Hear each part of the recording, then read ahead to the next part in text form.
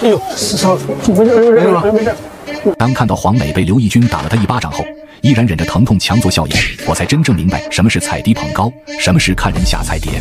在某档综艺节目中，众多娱乐圈新人前来做客，黄磊与何炅作为东道主，一位热情洋溢，一位却态度冷淡。老师好，Hello，好，豆子来了，欢迎欢迎，黄老师。黄老师好，啊，你好你好，可以叫个小豆子。哎，你好。啊，你好你好。众所周知，黄磊素有“黄小厨”之称。每当有娱乐圈的大咖来做客，他总是热情地展示厨艺，盛情款待。然而，这次来访的却是一位刚刚出道的小鲜肉，黄磊的热情瞬间消失殆尽，甚至开始了隐晦的抱怨：人多就是好，但人多吃饭就不好了。最好就人多，干完活就撤了。我专心的把这个火锅做好，晚上你们玩游戏，今天我就早一点睡。黄磊的一言一行，无不透露出对新人的不屑与冷漠。他总是保持着一副居高临下的态度，言语间充满讥讽，眼神也不带一丝热情。小鲜肉们也不知所言。然而到了吃晚饭的时候，黄磊的态度不仅没有任何缓和，反而愈发明显。突然语出惊人，说了一些让在座所有人都感到尴尬的话。说真心话，你们这一大堆人来，我呢没啥感觉，因为我跟你们也不熟，我没必要跟不熟的人非得瞎扯。所以你们进来跟我打招呼，我也没那么热情。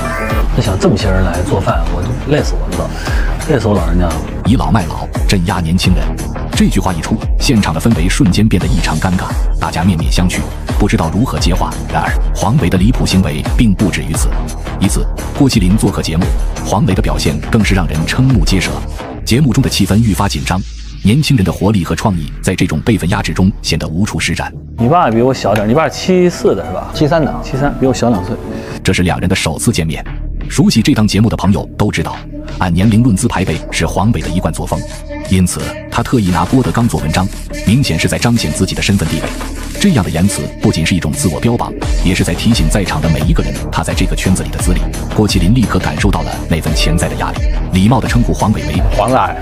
大一声大爷直接让黄伟的脸色大变。郭麒麟见状，意识到自己可能触及了黄伟的底线，赶紧找补道：“我以前录节目，我老拽，看谁都大爷叔叔的。后来有人不乐意听，对，叫大哥越好，叫他大爷。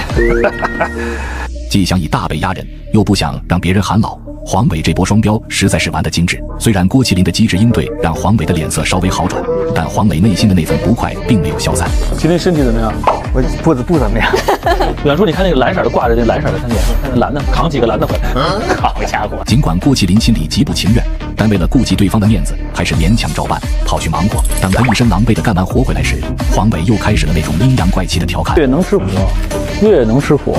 这无疑是在暗讽郭麒麟偷奸耍滑、娇气作秀、不肯干活，根本无法与岳云鹏相比。黄伟的这种比较，显然是在将郭麒麟推向风口浪尖。面对这种局面，郭麒麟决定不再忍让，毫不客气地开始反击。黄老师拿话点我了，已经想到那一层去了，拿话点我。他 反应快，我真没那意思，我心脏，我心脏，我心脏。这样的回应不仅保护了自己，也巧妙地引导黄伟主动站出来，为他消除舆论的隐患。但你要这么非这么理解的话，我觉得你比他，你比他能吃苦，我觉得 是吧？面对郭麒麟的机智反击，他心中难免有些震惊和不甘。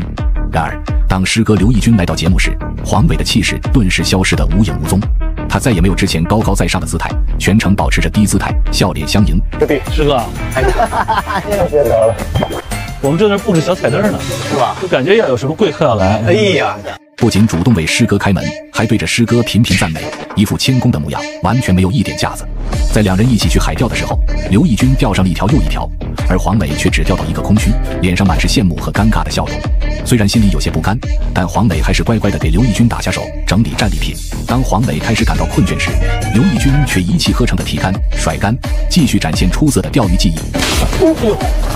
就这突如其来的暴击，隔着屏幕都觉得疼。没事，没事。